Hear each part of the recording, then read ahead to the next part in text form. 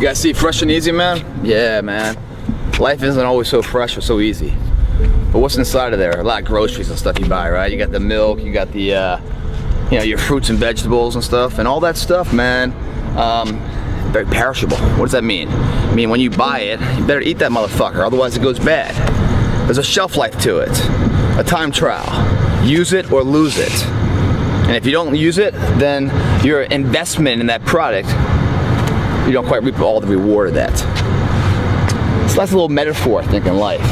Because life itself is perishable. If you're playing basketball and you're shooting free throws, and you're at the line when the pressure's on you, if you don't constantly, when no one's watching, drill it and drill it, a thousand buckets a day, when it matters, maybe you miss.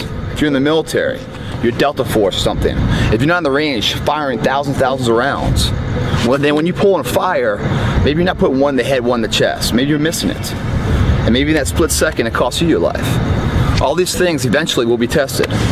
You have the time right now to prepare them, to ensure the skills don't get spoiled like some fruit and fresh and easy. See, the thing about life, we're gonna die, right? Eventually we're gonna die, but our legacy can live on. The impact can be non-perishable, forever, but it's gotta be built right. And we gotta take advantage of the time we have right now. If you want it bad enough, you find a way. If you don't want it bad enough, you find an excuse. It's called the body weight beatdown. You don't need any weights for it. You don't need you don't need a gym membership. You don't need any any barbells. You don't need any equipment. All you need is this motherfucker. That's your weight, your body weight. Last I looked, the person that finishes the race with their hand held isn't it about the uh, you know how big they are, how tough they are, their potential. It's their perseverance. Meaning it's not about the dog that's in the fight. It's the fight within the dog. Well, yeah, it's a shitty situation. I gotta go to work because I gotta pay the bills and support my family. But you know, it doesn't mean I have to shortcut my success in what I'm doing. I'll find a way to work this out. How do you do that? You gotta have a little ingenuity. I'll provide that for you guys. All you have to do is follow it. This workout's gonna test you guys. It's gonna break you too. But in doing so, it's gonna grow you. Just like life itself, man. You go after things. You try them. Even if you fail, you get back up and you continue to try and fail, continue to try and fail. And ensuring you never fail to try. Because nothing's impossible. Just a spelling of impossible is spelled I'm possible. Today we make believe of that.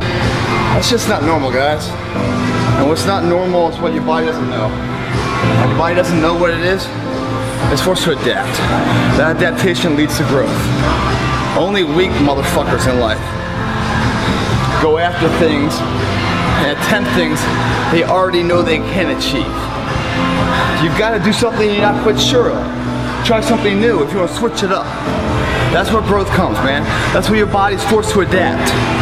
Forced to suffer the discipline today. So you never suffer the form of regret tomorrow. That's what the fuck that's about. It's not the load, guys, that you're carrying that breaks you. It's the way in which you carry it. Meaning, we all fail in life. We all hit failure. It's the way in which you handle, handle failure if you find out it destroys you or not. Because last I looked, failure's temporary. Giving up, that's permanent. When you think that way, guys, in here, it's not work, man. It's love. When you love something, you put your passion behind it and pay your dues every day. You set trends, man. You don't follow them. You set the fucking trends. See ya.